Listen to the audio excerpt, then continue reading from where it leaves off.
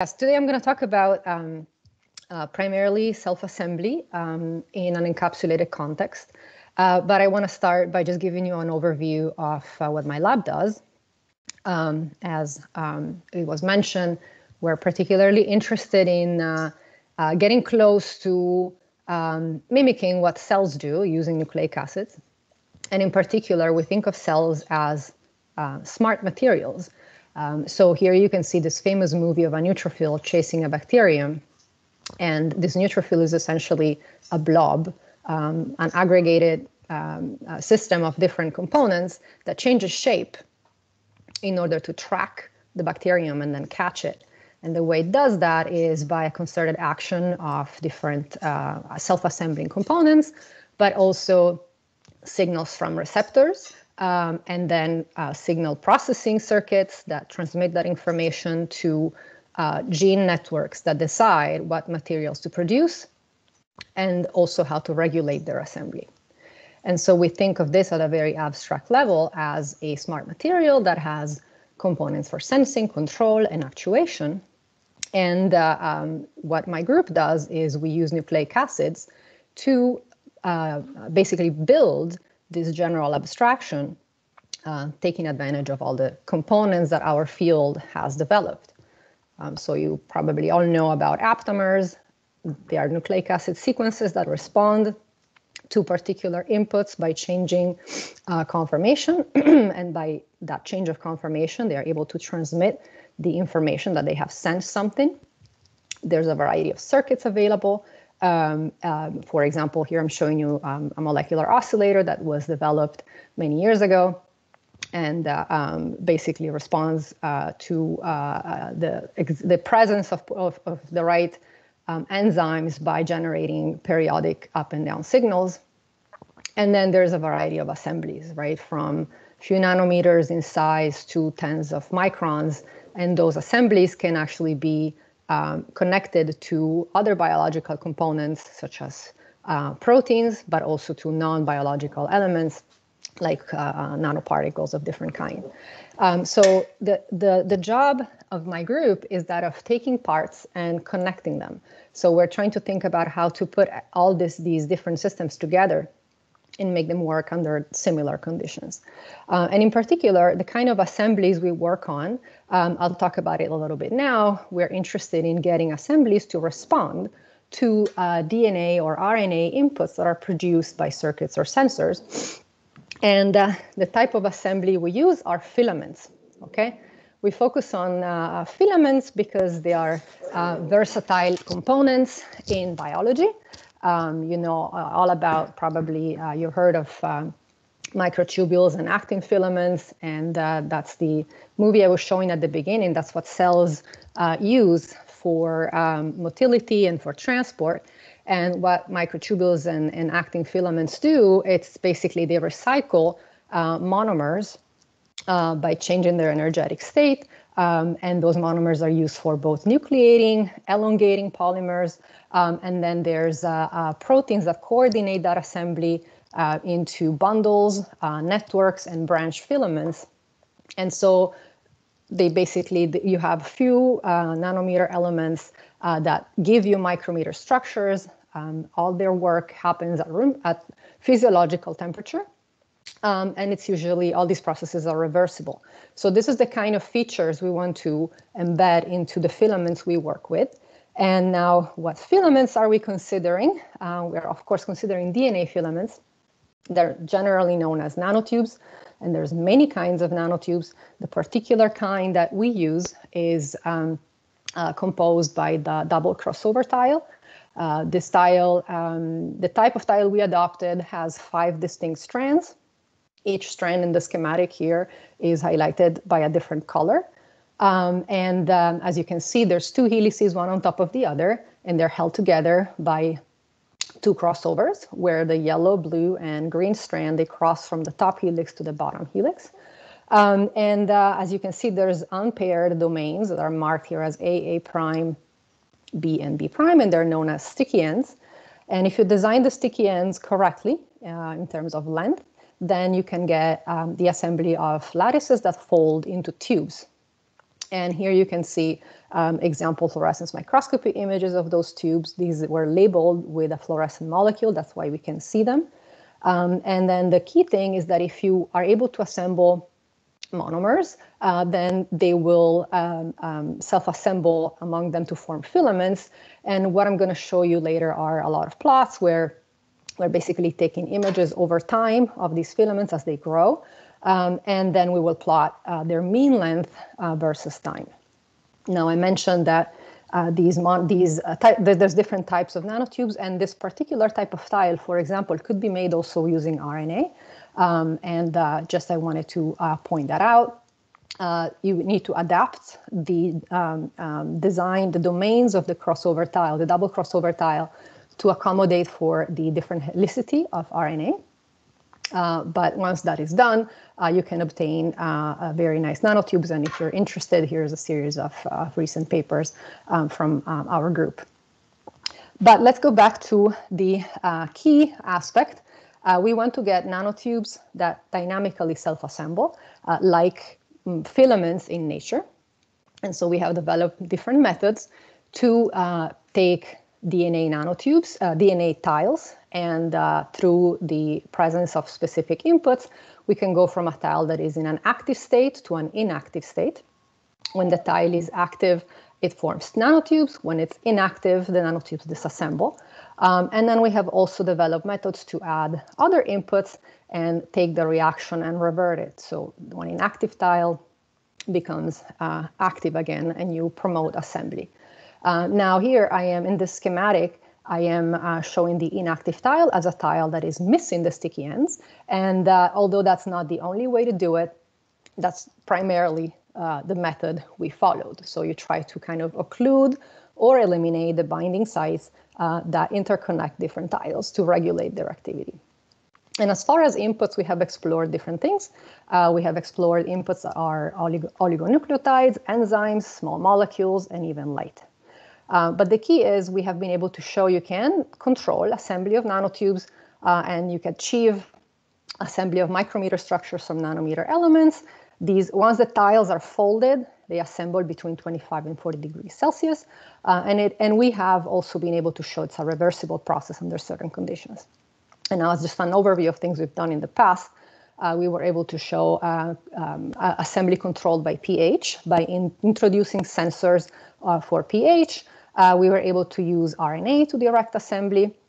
Uh, and finally, we were also we also show that you can achieve autonomous dynamic control by connecting uh, the um, assembly process to the oscillator that I briefly mentioned at the beginning. So as the oscillator components uh, change level and go from high to low, that way they, they, um, they control release of molecules that invade the, the nanotubes and cause them to disassemble. And then through an enzyme uh, that degrades DNA um, bound to RNA, uh, sorry, degrade RNA bound to DNA, you can obtain um, reassembly. So this is just basically an overview uh, of what we are building on. Um, and next, I'm going to tell you specifically about some uh, new results that are at the moment uh, under revision, but hopefully the paper will come out soon. Um, so we, we studied how to obtain dynamic self-assembly of DNA nanotubes in water in oil droplets. And that is uh, because basically any cell, as you have seen from the uh, general schematic at the beginning, you know, cells have membranes, cells operate in a closed, uh, you know, it's a closed environment. And so we were interested in, in, uh, in the question whether we could embed these uh, um, assembly processes in, in, a, uh, in a compartment that mimics um, the, the, the, sh the, the, shape and the, and the general size of cells. Um, so I'm going to tell you about the methods we have developed for encapsulation, uh, how we process the data, and then how we obtain some RNA-directed assembly that was um, dynamic in nature. Um, so first of all, uh, encapsulation. So there's different ways of encapsulating uh, molecules, and we have used um, as a starting point water in oil droplets. Uh, these are far from actually the chemistry of cells because these are monolayer uh, lipid droplets, and they, they it's basically an aqueous phase enclosed into an oil phase. And they're not at the moment capable of communication, and they're actually much more rigid than actual cells. but it's a starting point because actually, um, as far as I know, there's very few studies uh, geared toward encapsulation of nanostructures, and we wanted the simplest environment possible that we knew was going to work easily. So there's, uh, as an encapsulation method, one could go by simple vortexing. So as you would make a vinaigrette uh, for your salad, you mix oil and aqueous phase, and you shake the compartment, the, the, the test tube, and you obtain uh, droplets of a variety of, of sizes. Um, another approach is to use microfluidics. In this case, uh, you can use a flow focusing device. It's pretty easy to make it, and that gives you more control over the radii. However, it is also more laborious, and uh, given the time it takes to set up the whole microfluidic contraption, we decided to stick to the vortexing uh, protocol. For the rest, for the rest, the rest of the experiments that I'm going to show you today were obtained through uh, vortexing.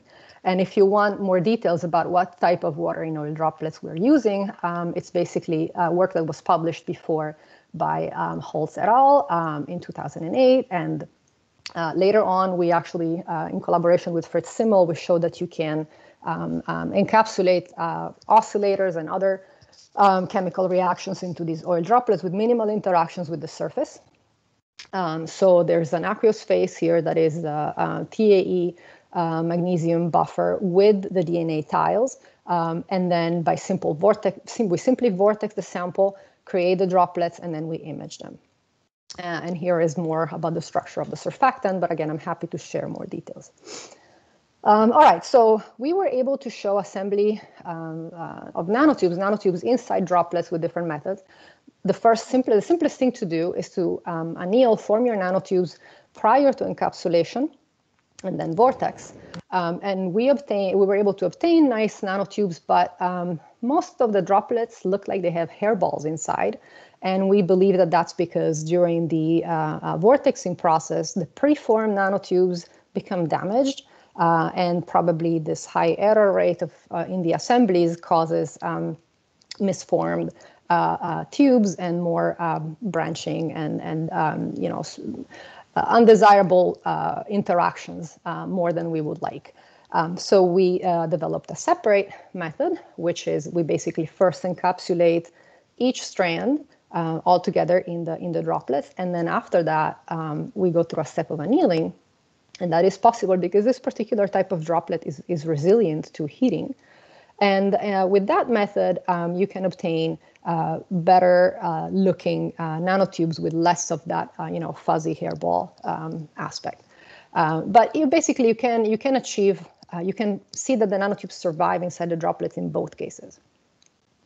Um, then, you know, with the uh, method number two here at the bottom, you can actually show you can anneal and form distinct nanotube populations. So if you have um, two different tiles. They are structurally identical, but they have different sequences, so they don't interact with each other. Um, and uh, you encapsulate and then anneal, what you see is that at the end, at the end you have uh, distinct nanotube populations. And here is an example image of that. Now, here we encountered several challenges that I'm not going to talk about today, uh, but they mainly uh, relate to the type of fluorophore that is used for imaging.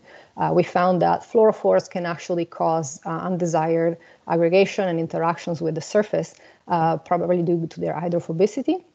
And so not all the pairs of fluorophores that we picked uh, worked well.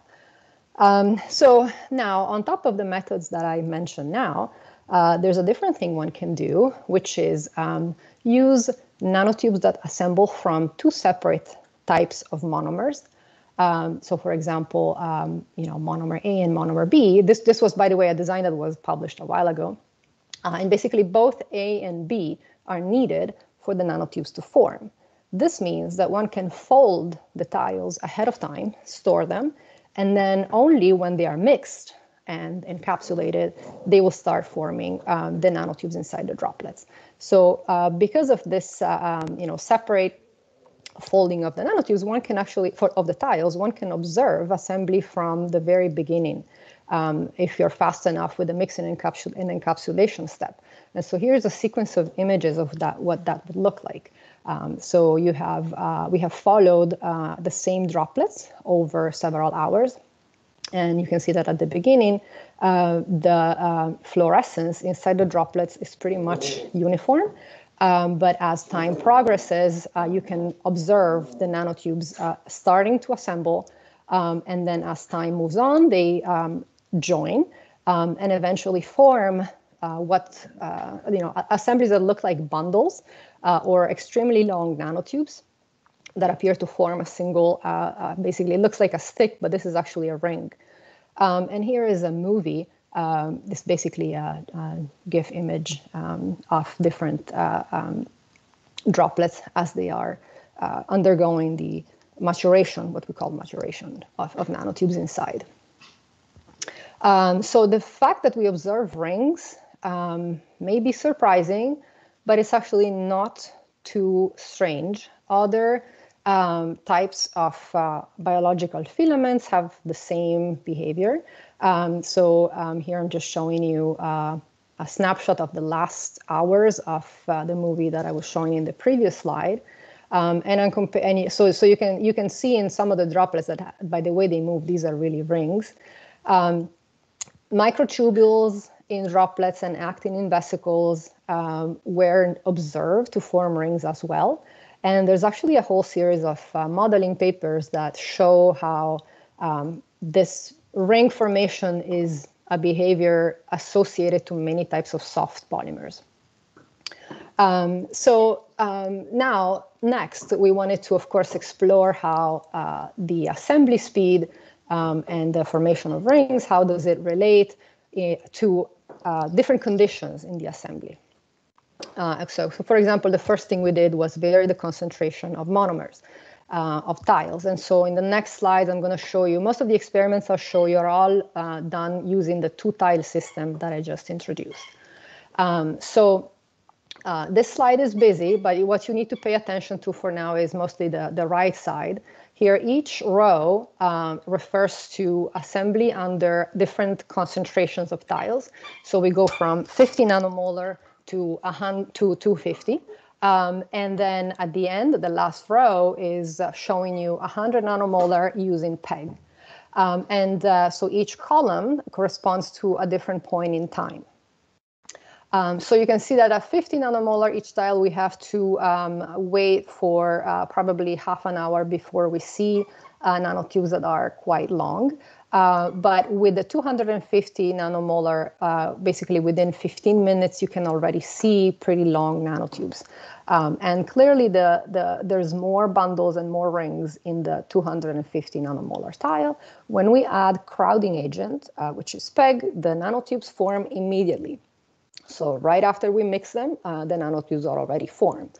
Um, and this is consistent with, uh, this behavior is consistent with even like a simple model um, so we adapted um, an ODE model from Zhang, Hariadi uh, et al., uh, where uh, they, they basically uh, model simply the assembly of tiles and the elongation of nanotubes. Uh, so nucleation and elongation. And this gives you three ODEs. And from these ODEs, one can model the fraction of assembled tiles. And obviously, the more tiles we have, uh, the faster the assembly is.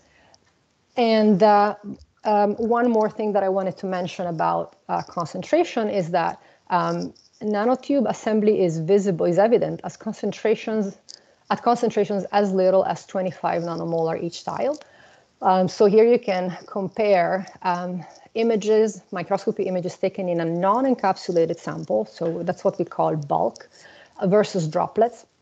And uh, at this very low concentration inside droplets, uh, you can, after 24 hours, you can clearly see what look like, uh, in some cases they look like aggregates, but in many cases they're like thick, uh, longer nanotubes.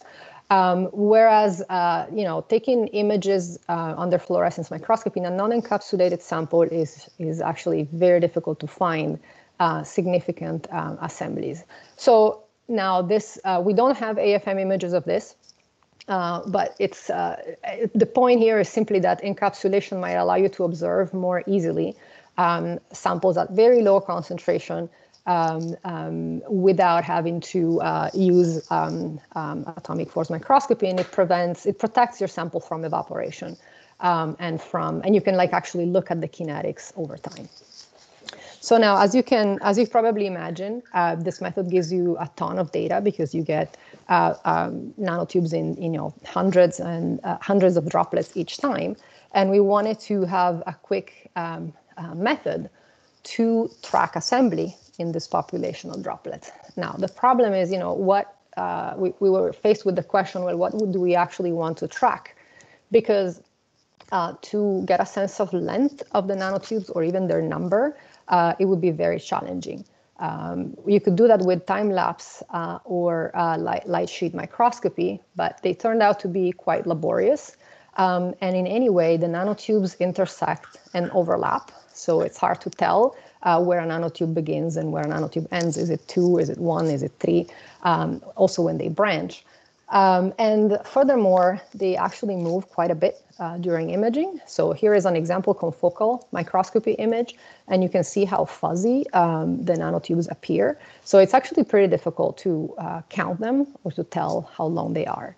So we decided to go with a simpler approach um, that allows you to track assembly across multiple droplets based on epifluorescence images, so not confocal. And the way we did it was by tracking uh, statistical, uh, doing statistical analysis of the images.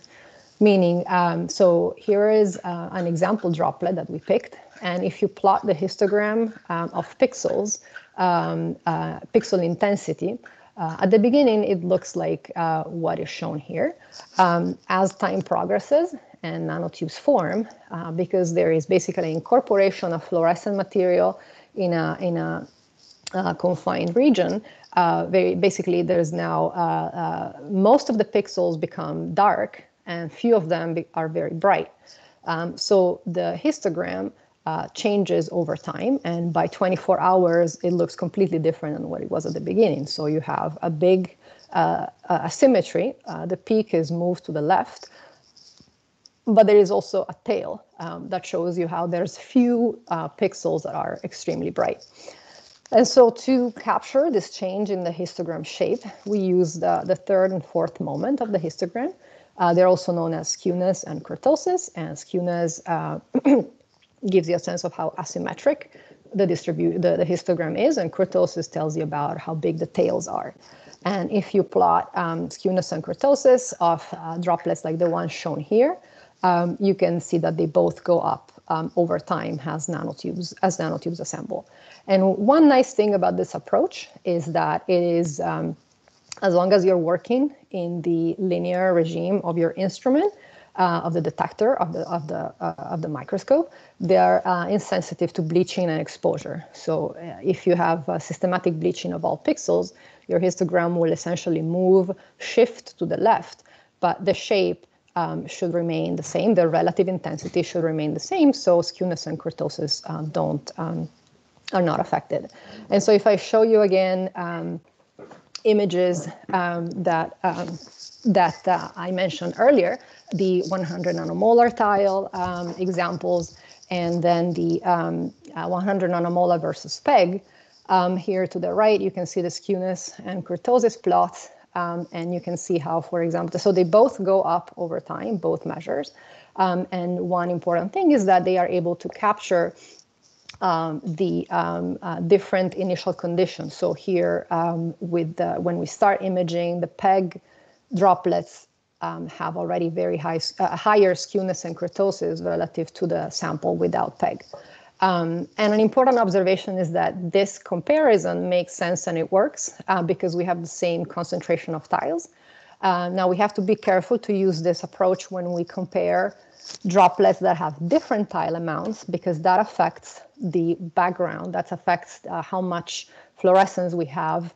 Um, and so here you can, if you compare, for example, 50 nanomolar tile samples with 250, now the model and then the data showed us that uh, here you have assembly sooner, but actually skewness and kurtosis don't reflect that. And they're basically indistinguishable. And if anything, the 250 nanomolar sample looks to have lower skew skewness and kurtosis, but that's because the bottom sample has a higher background. And so the, the shape of the, of the histogram would be affected by that changing background. Um, I want to mention finally that, uh, so I'm going to show you a bunch of skewness and kurtosis plots. This is, a, again, a qualitative approach, but it allows you to compare uh, the extent of condensation of assembly across a population of droplets. And it's useful if you are comparing apples and apples, if you have the same background level in the droplets. Now, an alternative approach um, that uh, one could follow is to actually um, look at epifluorescence microscopy images and try to segment uh, the nanotubes that we observe. And, and like with these uh, segments, one could, for example, ask, well, uh, what is the contour length? Uh, you know, how many segments do we observe? And what is the average length of each segment? We could probably get uh, plots that look similar to the skewness and kurtosis, but the problem is that this is uh, we found it's difficult to automate. So for now, we are not able, while, while we have an automated workflow for skewness and kurtosis, this is harder to automate because of the uh, basically uh, there, there's a lot of like eye of the of the of the experimenter in order to capture which ones are actually segments and which ones are not. Uh, so, for example, we, we expect that some machine learning algorithm could help here, but we don't. We haven't uh, produced any yet. So uh, I'm gonna like I'm almost done. I just want to present the last set of experiments.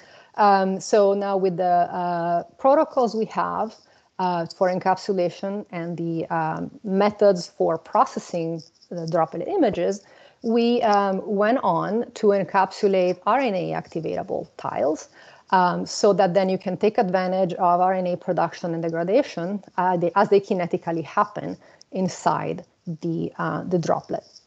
And so here we have uh, now it's a slightly different type of tile and it looks, I'm going to show you in the next slide uh, what it looks like here. The gray strands are DNA and the green strand is RNA. So it's a hybrid DNA RNA tile. Um, and, uh, you know, in control experiments, you can simply encapsulate the folded gray part and then add the green part. Um, and this is um, what we did. And what we obtain is that if we have the right amount of trigger, we can see nanotubes forming quite quickly. And here would be skewness and kurtosis across the population. Um, however, one thing we observed is that if you add too much RNA, what happens is we have aggregates instead of uh, um, well-formed nanotubes. And we think that because RNA is generally very sticky, uh, it promotes aggregation and more variability. Now, it's, it's important to note here that the skewness and kurtosis method doesn't tell you the difference, uh, meaning that um, it will still tell you, yes, you do have condensation, you do have assembly, but you can't tell uh, by just looking at the graph whether they are actually nanotubes or aggregates. So the key thing is you need to have the right amount of RNA. If you have too much, your nanotubes are not forming um, properly. Um, so with that in mind, um, now you can proceed to have uh, we went on and, and tried to do uh, transcription and degradation inside the droplets with the um, um, with this together with the, with the uh, self-assembly. And so um, in so first, of course, you need to try it in a non-encapsulated context, and there's many parameters you can vary because now you have a synthetic gene that is producing RNA in the presence of polymerase. And for example, one thing you can do is change this genetic template that is producing RNA. Um, and, uh, you know, of course, the more template you have, uh, the more nanotubes you will observe. So these are uh, data from non-encapsulated experiments showing you mean length versus time. Um, so uh, now you can do the same thing inside uh, droplets. And uh, what we observed at a given tile, inactive tile amount, and a given amount of template plus PEG, we needed PEG to actually um, promote. Um, uh, we were not sure yet whether PEG helped with the transcription speed or simply by pushing the nanotubes to the surface and making it easier to observe them. Uh, however, we found that PEG is, is necessary to, um, to get this reaction to work in droplets. And so here are example images. Um, and now if you vary the amount of template, you get assembly uh, happening um, with a different speed. So if you have a low amount of, of template, um, they um, basically you need about three hours to get to steady state. Uh, but if you have a higher amount of gene, um, you need uh, about an hour to get close to steady state. Um, and uh, at some point, when you use too much gene, you get assembly that happens immediately. However, these images, I'll tell you, they had quite a bit of aggregation. Um, so these results are consistent with what you would get, uh, what you would predict with an unfitted model uh, that again takes uh, is adapted from the Zhang um, and Hariadi model that I mentioned at the beginning, uh, but includes also the um, uh, reactions for transcription um, and degradation. Now, and like the last thing I want to talk about is, uh, so here actually um, we did not have degradation, we only had production of RNA. If you do add degradation, um, in non-encapsulated experiments, what you observe is that you get a transient production of nanotubes. Um, and that's because um, uh, initially the polymerase that makes RNA has a burst of activity, so it kind of uh, um, uh, takes over the reaction. You have a buildup of RNA forming, and then as time progresses, uh, RNA polymerase loses activity, but RNase H uh, appears to be a more stable enzyme. And so degradation takes over as uh, at longer, uh, at longer times. And so what you can see is a pulse of assembly that uh, can be tuned in terms of both uh, maximum length and duration by tuning the amount of RNase H. And so we repeated these experiments in inside droplets, and we indeed observed a pulse in assembly. So here are data uh, at a particular, in particular uh, conditions of uh, RNA, RNA polymerase, RNase H, and template. And then lastly, we tried to uh, also vary RNase H as a way to tune this pulse. And uh, um, here you can see how the more RNase H you use, the lower the peak of the pulse and also the faster. Uh, so basically, uh, here I'm showing you skewness and kurtosis that were um, measured over a population of droplets. And when you have very low amounts of RNase H, you get a nice peak um, whenever, as opposed to uh, at higher amounts of RNase H, the peak is almost not detectable. And uh, the model that we have that was again not fitted, uh, we used parameters that were predicted in previous work um, and estimated the amounts of active enzymes uh, with also estimating the decay speed um, of RNA polymerase, and we could kind of uh, reproduce uh, the same uh, qualitative features of the peak observed in experiments.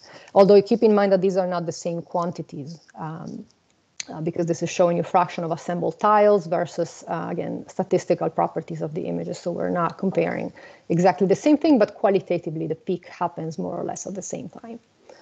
So that's that's it. Um, so to conclude, I just want to give a little bit, bit, of perspective of what's next with this. Um, well, because DNA nanotechnology offers a lot of uh, different types of structures, and uh, we are getting to the point where we can dynamically control them, we would like to do that inside compartments and get a hierarchical assembly of scaffolds that include both nanotubes, but also um, aggregating centers uh, so this is work in collaboration with Rebecca Schulman. Um, she has developed many types of DNA origami that have different uh, shapes from which you can grow nanotubes, uh, for example, L-shaped, T-shaped, and Y-shaped. And so we're hoping to uh, uh, be able to assemble these, these architectures together and see if we can actually obtain any kind of control of positioning of the um, um, nucleation centers uh, using the nanotubes as they grow out of the structure. Um, and uh, another interesting direction we are pursuing is that of including communication between droplets. So we're exploring different things. This is work in collaboration with Fritz Simmel. Um, if we achieve that, we might be able to develop some sort of synthetic uh, consortium of cells that produce uh, tissue-like, uh, you know, uh, scaffolds um, and uh, and we could have sort of developmental developmental pro- programs across multiple cells exploiting uh, genetic programs, DNA, uh, strand displacement, and assembling structures. So with that, I will conclude. Uh, so as a summary, I hope I gave you a high-level sense of what my group does. Um, we're trying to um, build materials that include sensor circuits and assemblies using nucleic acids. And today specifically, I talked about um, uh, dynamic DNA materials, nanotubes um, in synthetic compartments, protocols, uh, so methods to encapsulate them, uh, to observe them, and then to obtain dynamic behaviors. Um, so with that, I thank uh, my group and uh, uh, funding agencies, and I will take any questions if there is time.